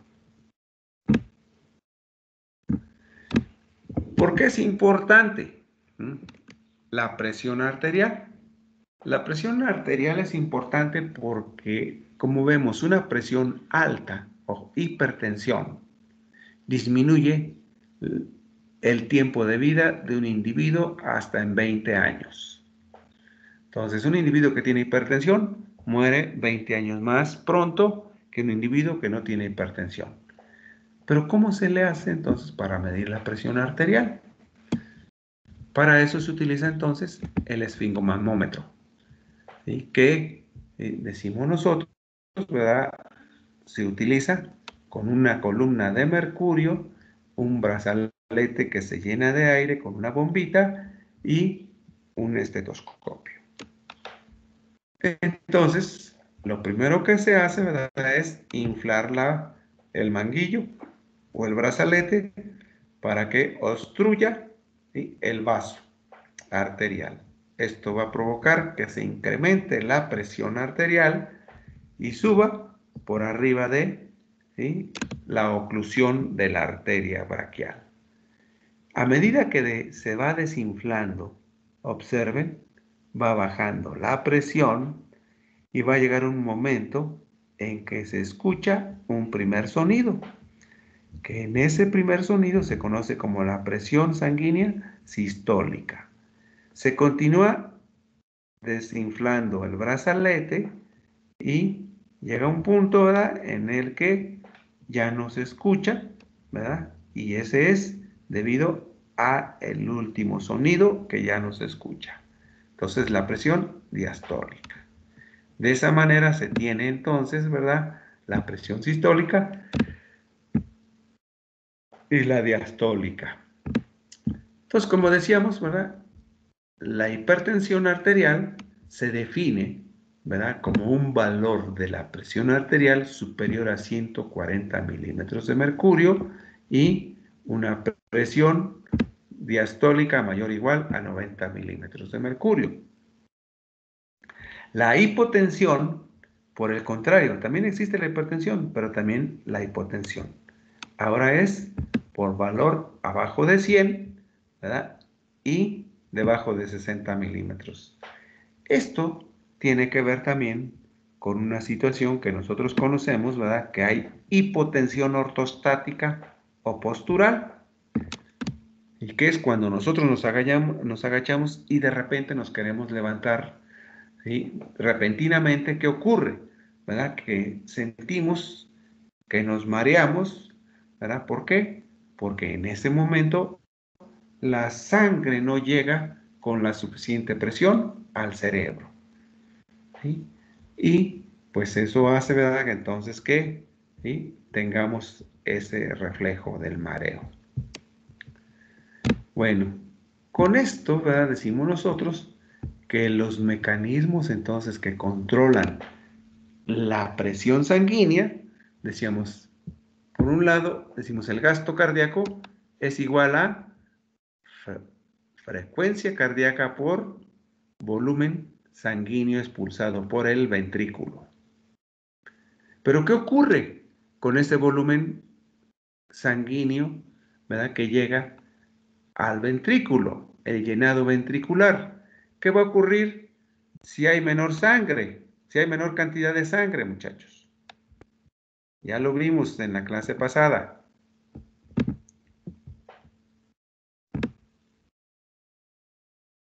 ¿Qué ocurría?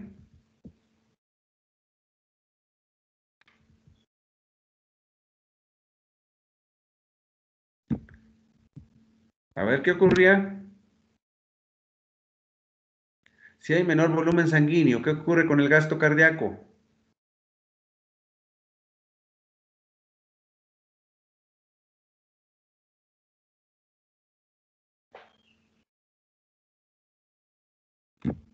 Aquí está.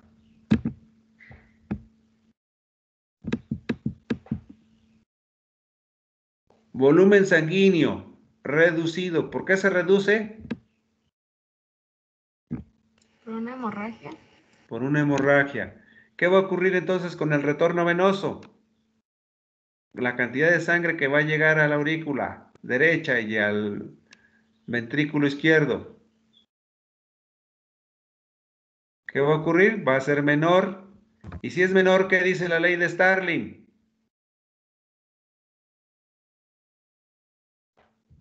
¿Qué dice la ley de Frank Starling del corazón? ¿Qué va a pasar con la presión si baja el volumen? Se va a disminuir, ¿no? También. Se va a disminuir la presión, ¿verdad? Porque decíamos que a medida que le llegue más volumen sanguíneo, más se va a llenar el corazón y más va a expulsar con fuerza la sangre del corazón, por lo tanto aumenta la presión. Pero ahora, ¿verdad? Estamos hablando, ¿verdad? Que en una hemorragia, como es la que nos están diciendo aquí, ¿verdad? En una hemorragia, ¿qué nos dice? La sangre sale fuera de los vasos sanguíneos. Por lo tanto, baja la sangre que le llega al corazón. Si el sangrado procede de una arteria rota, dice, es menos frecuente que una vena, pero más grave. Entonces, ¿verdad? Nos dice aquí que qué puede ocurrir con una hemorragia. Entonces, ¿verdad? Se puede morir el sujeto. Por eso, cuando hay un accidente, cuando hay ¿verdad? Una lesión en un vaso, lo importante es cerrar el vaso. Dice, el sangrado procede de una vena en una hemorragia venosa. ¿Y por qué se detecta?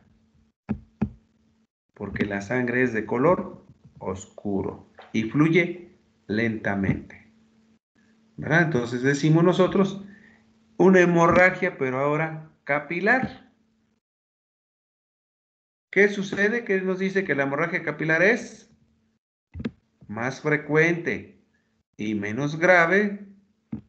Aquí nos dice que pues la sangre fluye lentamente, ¿verdad? Y trae menos presión. Pero si la hemorragia es superior al 10%, entonces la presión arterial sí disminuye. Como ocurre cuando somos donadores de sangre, ¿verdad? Que se extraen aproximadamente 500 mililitros. Cuando se extraen 500 mililitros de sangre, ¿verdad? ¿Qué es lo que nos dicen? Hay que recuperar el volumen sanguíneo, ¿verdad? Y nos dan un juguito o, ¿verdad? Nos dan ahí, nos dicen hay que tomar agüita para recuperar la presión arterial y poder irnos a nuestra casita. Entonces, Hemorragias arterial, venosa y capilar. ¿Qué ocurre si hay una hemorragia? ¿Qué va a ocurrir con el pulso?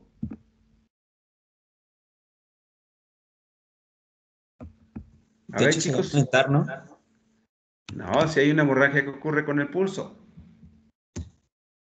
Si baja la presión por la hemorragia. Disminuye el, el pulso. Disminuye el pulso y el pulso se hace muy débil. ¿Verdad? Sí, porque se vacía la sangre. Se vacía la sangre, ya no hay quien empuje, ¿verdad? El corazón ya no empuja mayor sangre, entonces la onda en la aorta ya no es menor, ya no es buena, ¿verdad? Entonces, decimos nosotros, ¿verdad? Que observen aquí, ¿verdad? Aquí empieza a bajar la presión en las arteriolas, ¿verdad? Y eso hace entonces y que el pulso sea más débil. Entonces, ¿verdad? decimos nosotros, el pulso es un signo vital, al igual que, ¿sí? ¿Qué otros signos son vitales para entender la homeostasis del cuerpo? La misma presión arterial, ¿verdad? La temperatura es otro signo vital. Pero entonces, ¿cómo registramos el, pulso arterial? Como les decía, es pulsar, ¿verdad? O poner en contacto con una arteria próxima a la superficie, ¿verdad? Y nos dice aquí, ¿verdad? Que se palpa con los dedos, el índice medio y el anular sobre la arteria, siguiendo un curso longitudinal. Dice, nunca con el pulgar. Y se puede realizar en distintas partes del cuerpo. ¿Pero qué se mide del pulso? La frecuencia, el ritmo y la amplitud. ¿Sí? La frecuencia va a ser entonces las pulsaciones por minuto. El ritmo, si el ritmo es plac, plac, plac, plac, plac, regular o plac, plac, plac, irregular. Y la amplitud, ¿verdad? Aquí sí es fuerte, normal o débil. Por eso decíamos aquí, ¿verdad? Una hemorragia va a tener un pulso débil, una frecuencia. ¿Cuál va a ser la frecuencia de una hemorragia? A ver, jóvenes, ¿cuál sería la frecuencia en una hemorragia? Si baja la frecuencia cardíaca, si baja la presión arterial, ¿qué significa con la, con la frecuencia? ¿Cómo se relaciona? También bajaría, ¿no? También baja, ¿verdad? Entonces, en una hemorragia va a bajar la frecuencia del pulso, va a bajar la amplitud del pulso, el ritmo. ¿Habrá un ritmo regular o irregular si hay una hemorragia?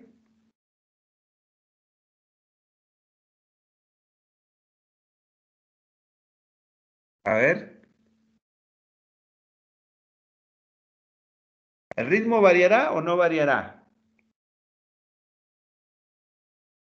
Sí, también. Sería irregular, ¿no?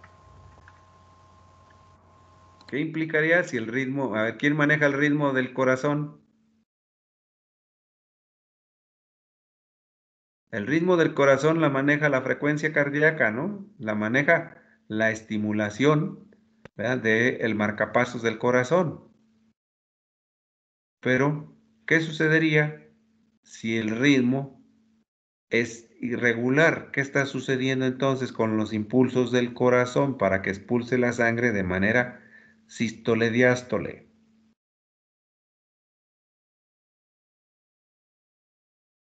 ¿Qué ocurriría? ¿No podría ocurrir que hay un daño también en el corazón?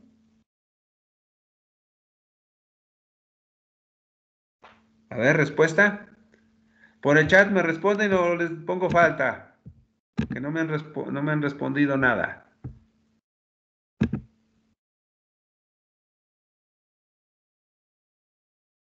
A ver, por el chat, ¿qué sucede con el pulso? si además de haber una hemorragia hay un daño en el corazón.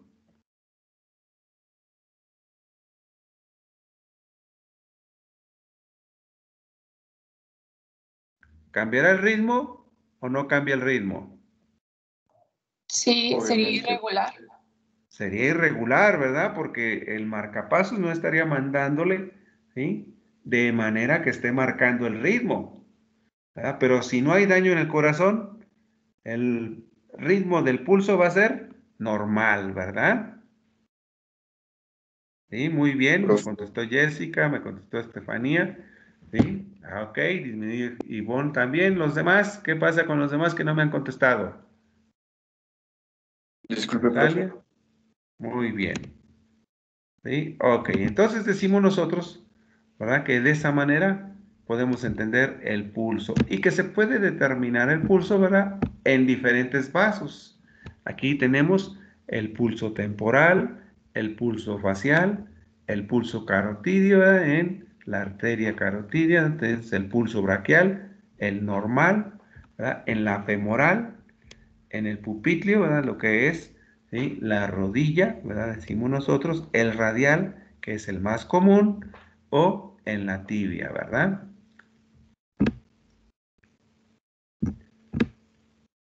Bueno, como ya entendimos, la relación del flujo es la diferencia de la presión entre la resistencia. Y como decíamos, si aumenta la resistencia, disminuye el flujo, ¿verdad? Si esta aumenta, va a disminuir este. Pero ¿cómo puede aumentar la resistencia? Aquí está la fórmula de la resistencia. Se le llama ley de Postwall, para ver la resistencia. ¿Cómo está alterada la resistencia? ¿Por qué se altera la resistencia vascular? Observen, ocho veces por la viscosidad, por la longitud del vaso entre el diámetro del vaso. Pi por R, pero R está elevada a la cuarta potencia. ¿Sí? ¿Cómo podemos hablar de que se altera la viscosidad? A ver, ¿cómo podemos alterar la viscosidad de la sangre? Con ácido acetil salicílico la haces más fluida. Ahí disminuye la, viscosidad, ¿verdad? Si disminuye la viscosidad, igual, ¿verdad? Decimos que aquí la resistencia ¿sí? aumenta o no aumenta. ¿Verdad? Va a depender también de el diámetro del vaso. Pero aquí hablamos, ¿verdad? Que por eso se utiliza el ácido acetilsalicílico, ¿verdad? Para, decimos aquí, hacer más líquida la sangre. Pero en una hemorragia, muchachos, ¿qué va a pasar con una hemorragia? ¿Se va a hacer la sangre más viscosa o menos viscosa? Se hace... Se coagulan. ¿Se coagula? Entonces, si se coagula, ¿se hace más? ¿Viscosa? Viscosa, ¿verdad? Entonces, ¿verdad? Aquí aumenta la viscosidad. Decimos, ¿qué sucede ¿verdad? si en un individuo también no toma agua? También se hace más viscosa. Se hace más viscosa, ¿verdad? Y le va a costar más al corazón bombear la sangre. Y decimos que aquí la resistencia, entonces, ¿quién modifica la resistencia de los vasos?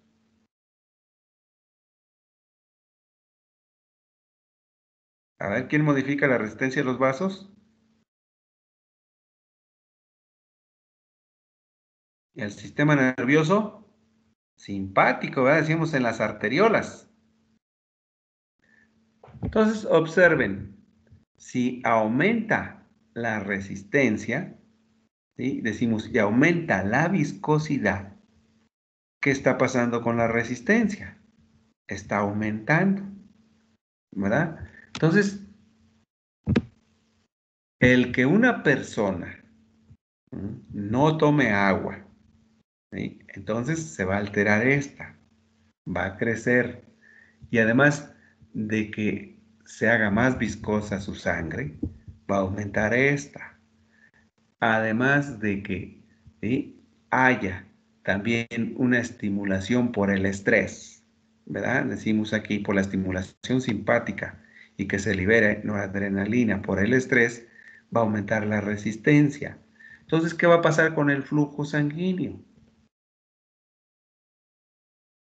En un individuo que no toma agua, decíamos su sangre se hace más viscosa, se estimula, tiene estrés y se genera, se estimula el simpático. ¿Qué va a pasar con su flujo? Sanguíneo en los vasos más pequeñitos, en los capilares. Disminuye y se reduce la oxigenación de todo el cuerpo. Ahí está. Entonces, si sucede todo eso, ¿y qué sucede con un individuo entonces cuando se estresa, cuando no toma agua? ¿Y qué va a suceder entonces ahora con el corazón? ¿Qué va a hacer el corazón? Se va a esforzar más. Se va a esforzar más, ¿verdad? Entonces, si el individuo se esfuerza más, su corazón se esfuerza más, ¿qué va a suceder cuando un individuo ha estado expuesto al estrés por mucho tiempo y además no se cuida, no toma agua, no toma alimentos? ¿Qué va a suceder con un individuo de este tipo? ¿Qué va a suceder con su presión arterial? Pues se eleva. Se eleva. Y entonces, ¿cuál es la consecuencia? Puede haber hipercardiomegalia o un derrame cerebral. ¿Verdad? Entonces su corazón empieza a crecer. ¿Verdad? Y el, el, corazón al empezarse a crecer, va a llegar el momento en que también el corazón ya no va a tener espacio para hacer su función adentro de la cavidad torácica. ¿Qué le ocurre a ese individuo, verdad? Decimos nosotros, pues un paro cardíaco. ¿Y todo por qué? Porque no entendió, ¿verdad? Que tiene que tomar agua, no entendió que tiene que cuidarse, ¿verdad? Que cuide su sangre, que haga ejercicio, ¿verdad? Para que haya flujo de sangre. Entonces, nosotros entendemos también el flujo, decimos en los vasos, como flujo sanguíneo laminar, cuando toda la sangre está fluyendo de manera uniforme. Pero cuando hay una obstrucción, el flujo se hace turbulento. Con esto, de que el flujo se hace turbulento, es lo que nosotros llegamos a concluir que si el flujo es más lento, ¿verdad? En el corazón, ¿qué va a pasar con las válvulas del corazón? ¿Verdad? Decimos, se van a descompensar y se van a alterar.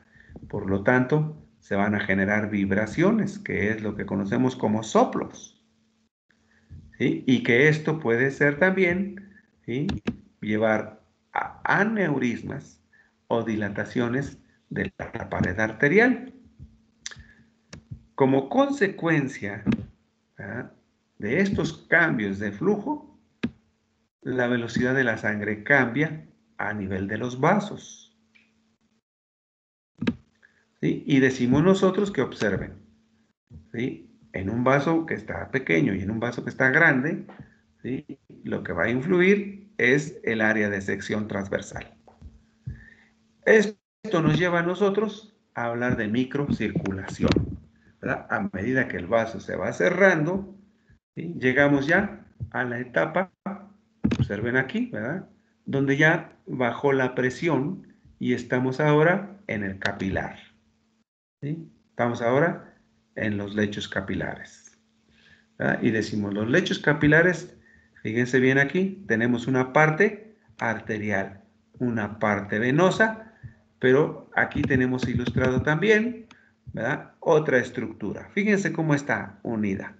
¿Cómo se llama esta estructura?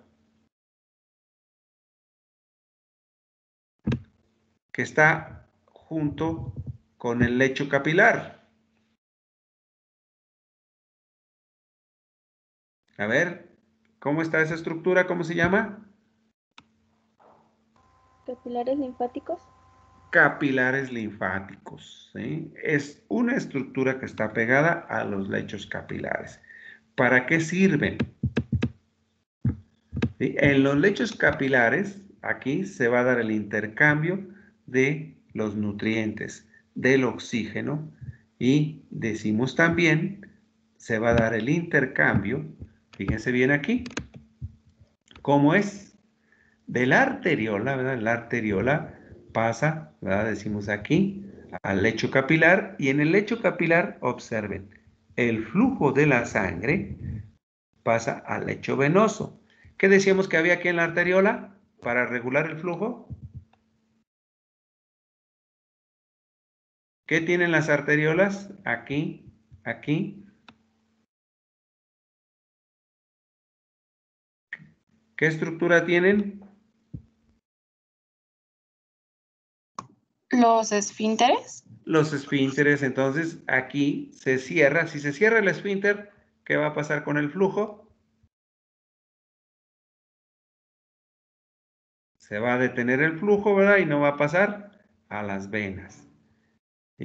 Pero observen, el flujo arteriolar también llega a este lado del lecho venoso.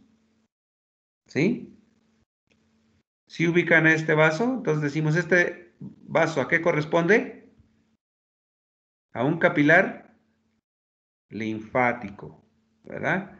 Y observen que el capilar linfático está también con células, ¿verdad? Junto con células y decimos del lado venoso, fíjense cómo cruzan los desechos al capilar linfático. Entonces, aquí se está recogiendo también los desechos en el capilar linfático. Los gases también pueden difundir aquí. Entonces tenemos nosotros, ¿verdad? Que la sangre, ¿verdad? Tiene aquí un importante papel para destoxificarse con el sistema linfático. Entonces, ¿cómo se da aquí? Por la ley de Fick. Entonces, el intercambio capilar se da por difusión pasiva. Y nos dice aquí, ¿verdad? Que en el lecho capilar, decimos aquí, el oxígeno va a fluir hacia las células, los nutrientes van a fluir hacia las células. En el lecho venoso el CO2 va a fluir hacia las venas. Los productos de desecho fluyen hacia las venas. Entonces, esto explica el intercambio que tienen a ese nivel los tejidos del sistema linfático, del sistema arteriolar, y decimos entonces, ¿verdad? Se comparte y se distribuyen los líquidos, ¿verdad? Se, el filtración y la reabsorción, ¿verdad? Entonces aquí pasa desde el, por la filtración, el líquido pasa desde el capilar al intersticio y la reabsorción desde el líquido al intersticio capilar. Bueno, ya les había explicado también qué sucede. Fíjense ahora, nosotros hablamos que aquí hay una presión en los capilares, pero decimos, ¿a qué se debe la presión en los capilares? A las proteínas. Y estas proteínas van a dar una presión de empuje, que es la presión osmótica. Y en el lado arterioral es de 28 milímetros de mercurio. Dice aquí, en ambos lados la presión osmótica. Pero ¿qué ocurre con la presión hidráulica? O presión hidrostática. Observen aquí. Entonces, es la presión que ejerce sobre las paredes de los capilares. Y aquí es de 35 milímetros de mercurio, fíjense bien, en el extremo arteriolar y de 16 en el extremo venoso. Entonces, ¿qué ocurre con la presión hidráulica? Favorece la salida del líquido del espacio al intersticio. ¿sí? Observen entonces qué ocurriría. Hasta aquí le vamos a dejar. Nada más para explicar esto. Aquí quedamos espacio arteriolar y aquí espacio venoso. Presiones hidrostáticas y presiones osmóticas. ¿Estamos de acuerdo? ¿Sí estamos de acuerdo? Sí, profe, muchas gracias. ¿Sí? Bueno, ya hasta aquí explico el día de hoy. Ya con el siguiente eh, tema terminamos casi vascular. En la siguiente clase terminamos vascular. Todo lo de vascular ya lo terminamos en la siguiente clase. ¿Sale? Sí, profe, gracias. Muy bien. Entonces, nos vemos entonces el día de mañana. Que tenga lindo el día, profe. Bye. Igualmente, Rebeca. Gracias, profe. Adiós, Fernanda. ¿Quién más se quiere despedir? ¿Nadie más? Gracias. Profe, bueno, tengo una pequeña duda. A ver, Eduardo.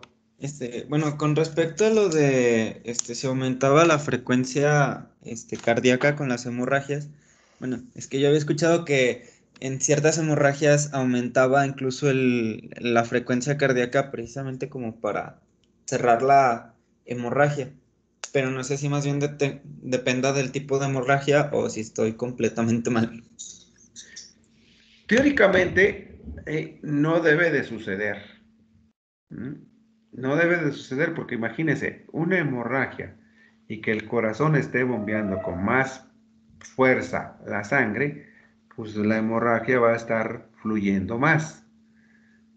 Pero como dice, mecanismos que pueden suceder compensatorios sí pueden aumentar la frecuencia cardíaca, pero generalmente va asociado a otros efectos. Por ejemplo, en el caso de un accidente, en el caso de un accidente se golpea el impacto, el, susto, el sistema eh, nervioso, pues inmediatamente actúa, ¿verdad? Y eso va a provocar precisamente que acompañado de incrementar la frecuencia respiratoria, la frecuencia cardíaca, pudiera optar también porque va a cerrar esa hemorragia. Pero la presión está siendo mayor y ya abre el vaso. Mientras tanto, la frecuencia cardíaca se aumenta por el impacto, por la emoción. Pero después se tiene que disminuir y tiene que favorecer la coagulación. ¿Sí le expliqué? Sí, o sea, estaría más bien dada por la adrenalina, ¿no? Este, Exactamente, por la consecuencia, le digo, ya de toda la homeostasis que en ese momento está tratando de compensarse. Ah, ok, perfecto. ¿Sí? Sí, muchas gracias. Ándele pues, entonces nos vemos el día de mañana. Hasta mañana, profe. Bye, los veo mañana.